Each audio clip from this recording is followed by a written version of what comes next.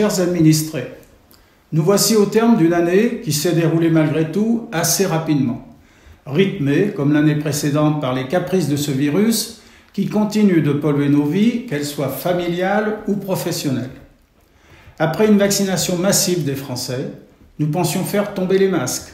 Mais voilà, avec l'arrivée de l'hiver, un nouveau virus nommé Omicron surgit sans épargner personne.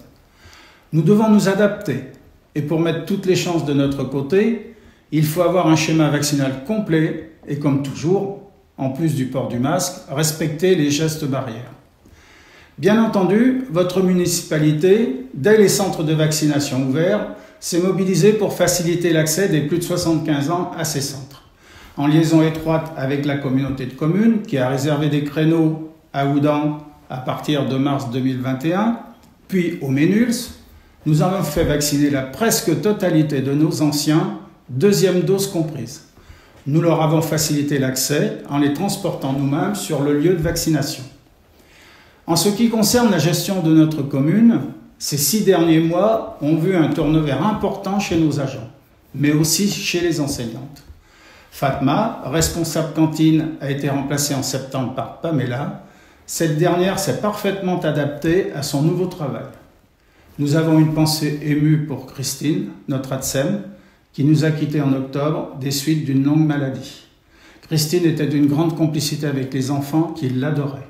Nous la regrettons énormément. Elle est remplacée par Christina, qui connaît bien les enfants de son marché, puisque depuis longtemps, elle est également en garderie pour le compte de l'IFAC. À l'accueil, nous avions Marie, qui s'était très bien intégrée dans notre groupe, mais a préféré retourner à son premier métier, l'animation périscolaire. Elle est remplacée par Laura. Ayant déjà travaillé en mairie, Laura a tout de suite trouvé ses marques et seconde parfaitement Carole, notre secrétaire. Enfin, tout dernièrement, Serge, notre agent technique, a quitté ses fonctions pour se rapprocher de son domicile. Son trajet depuis l'est de Paris devenait de plus en plus fatigant. Chez les enseignantes, nous avons vu le départ de Madame Laurent. Après 33 ans de bons et loyaux services au sein de l'éducation nationale, et 23 ans comme directrice à son marché, elle a bien mérité sa retraite. Elle est remplacée par Madame Mélanie Bernon. Aurélie Leroy est partie dans le sud-ouest et est devenue directrice d'une école maternelle. Elle est remplacée par Madame Lucie Mersnay. Nous souhaitons bien entendu la bienvenue à toutes ces nouvelles arrivantes. Comme tous les ans, depuis notre élection en 2016 puis notre réélection en 2020, nous n'avons eu cesse d'investir dans l'amélioration de votre cadre de vie, de la modernisation du terrain de foot à la réfection des trottoirs rue de l'église, en passant par la sécurité autour de l'école, l'enrobé du chemin entre les deux mares et du chemin de la votre municipalité a œuvré pour votre bien-être.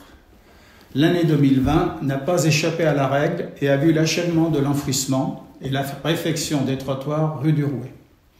Une rue totalement transformée avec éclairage LED et passage de la fibre sur toute sa longueur. Le deuxième gros chantier est la réhabilitation de la bibliothèque et la création d'un local technique. Ce dernier vient d'être terminé et dès la réception définitive mi-janvier, notre agent va pouvoir s'y installer, libérant ainsi la place pour la bibliothèque. Vous remarquerez également, installé au coin de la mairie, un défibrillateur appareil indispensable dans une commune qui peut sauver des vies. Notre école n'a pas été oubliée et nous lui réservons une place importante dans nos investissements. Le toit de l'ancienne mairie a été refait à neuf, des fuites importantes sont apparues sur toute la périphérie des murs. Nos agents ont commencé le rafraîchissement des peintures dans les couloirs et vont continuer avec les salles. Et enfin, nous avons doté nos classes du numérique vidéoprojecteur numérique interactif et tablette dans les classes de CM1 et CM2. Et tout prochainement, un nouveau VNI chez les CP. Bien entendu, tous ces travaux n'auraient pas été possibles sans les aides auxquelles nous avons droit. Je remercie toutes nos institutions qui ont participé au financement de ces travaux. Sans elles, rien ne serait possible. L'année 2022 sera essentiellement consacrée à la bibliothèque, qui, je l'espère, sera opérationnel à la fin de l'année, mais également, si tout va bien, au commencement des travaux de l'Église. Nous allons bientôt nous pencher sur notre budget 2022. Comme les autres années, nous maintiendrons le cap, mais pour cela, nous devons faire encore des efforts de fonctionnement et rechercher toujours les subventions pour financer nos travaux. Vous pouvez compter sur nous.